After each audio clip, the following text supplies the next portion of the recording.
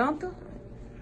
Olá, boa tarde, me chamo Regina, sou enfermeira e tinha muita vontade de fazer um curso é, de estética, né, preenchimento facial e toxina botulínica.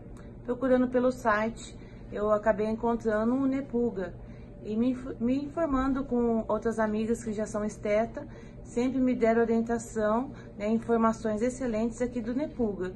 Então, hoje eu estou aqui pelo terceiro dia finalizando meu curso, né, com o professor, nós tivemos aqui maravilhoso, o professor Rogers, né, que com todo aquele aprendizado que ele nos forneceu, estou hoje é, bem mais tranquila e consciente, capacitada para poder atuar. Muito obrigada.